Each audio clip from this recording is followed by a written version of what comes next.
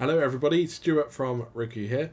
One of the things that we hear a lot with fine tuning and building out data sets is we'd love to be able to use it, but we don't know JSON. Who is JSON? Is JSON somebody who we need to contact to get our stuff done? Uh, people don't want to do it with code. And creating these files in text editors is really cumbersome and takes a lot of time. So we thought, is there an easier way to do it? And we decided to build it. So today I'm excited to introduce the Dataset Studio to you, which we built directly into the version 2 of Riku. So let's see how you fast you can build a dataset with the Dataset Studio and how easy it is with no code. So first of all, what we need to do is we need to go into Riku, go to the version 2 dashboard, and you'll notice we have under the create settings on the left menu, there is Dataset Studio. If you click this, you will see a page like this. And you can put your prompt in the top here, and you can put your completion in the other box. So there's always going to be two boxes. And you'll notice what I've done here is I've got something which is multi-line, which would be ruined in the JSON-L file uh, if it did not automatically replace the line breaks with uh, JSON friendly text. So we have product title, product description. We could just, I didn't fill this in. Let's just say ninja resistance. Uh, let's just put these bands off for home exercise. Ensuring a healthy lifestyle. So we have our two inputs that we want to have in this fine tune and we have our output which is under the completion. Once we've got something like this, all we need to do is we have this button in the top right which is add prompt and completion to JSON-L. If we hit this, bam, it's done. We have the first line of our JSON-L file. You'll notice that these line breaks have automatically been adjusted to JSON friendly uh, code and we have the prompt and we have the completion. These boxes at the top will reset so we can go again with our next one.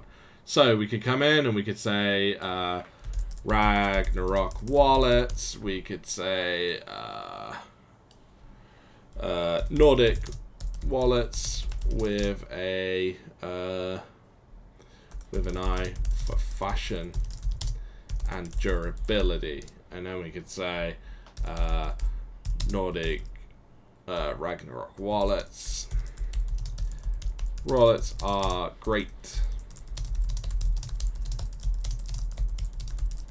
That is fashionable, high quality, and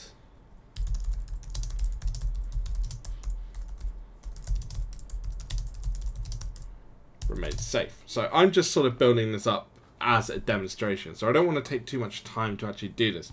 But we can then add this as the second line of our uh, JSON L file by hitting the same button in the top right here.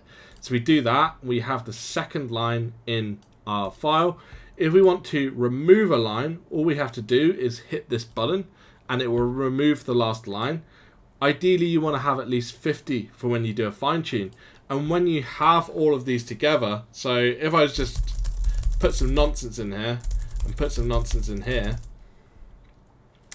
and then I just copied this one, I can add this. You'll see at the top we have the success message saying there are currently two.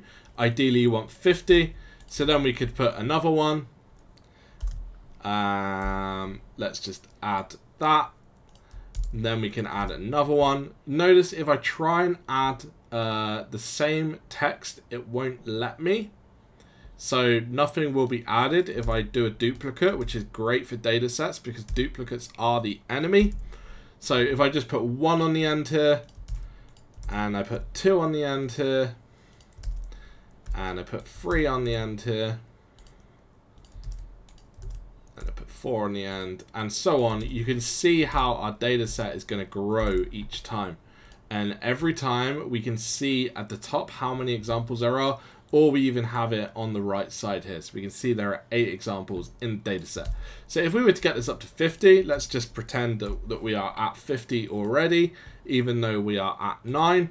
What we can do is if we want to download the JSON-L file, we can do that by just hitting here and that will download for us. my head is in the way on this video, but you'll see that it has loaded up the downloads and that file is now downloaded. So I could use that in creating a fine tune. If I was to click up here, I could then put that file in this box here.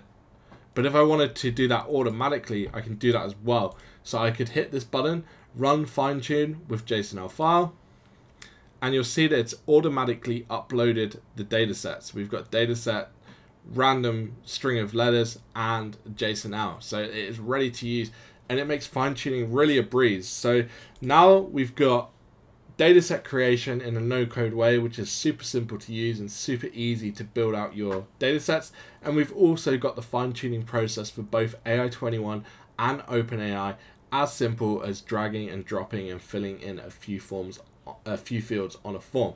So it's really exciting times for people who want to build with this AI technology and get better outputs by fine tuning because we've really made it as simple as possible for anyone to do that. Um, you can do this as much as you want within Riku. It's now live, so all you have to do is find Dataset Studio and you'll be able to do that in future what we plan to do for this is we plan to allow you to actually use some of your saved outputs as training data for a fine-tuned model. I think that's going to be really powerful. And when we have that what it's going to do is we've automatically saved your input fields. So we have the input fields we have the output. You'd be able to select what what outputs you would like to have in your data set and it would automatically compile that into the JSON-L for you and it would add it to the JSON-L file preview at the bottom of the screen. So this is really exciting, really um, just super pumped to have this out. It's really going to help people with fine tuning and getting all of their data into fine-tuned models, which is going to improve the performance of the AI and help you build some really interesting and cool stuff. Uh, that's all for today. I hope everyone's enjoying using Riku version 2. I know there are a few bugs and, and issues that we are still sort of fixing with it, but we'll get there. And when we do the full rollout, it's going to be super awesome. So I really appreciate everybody's feedback and suggestions, and I hope you enjoy building with Riku because we're really having a blast making this product. Thank you.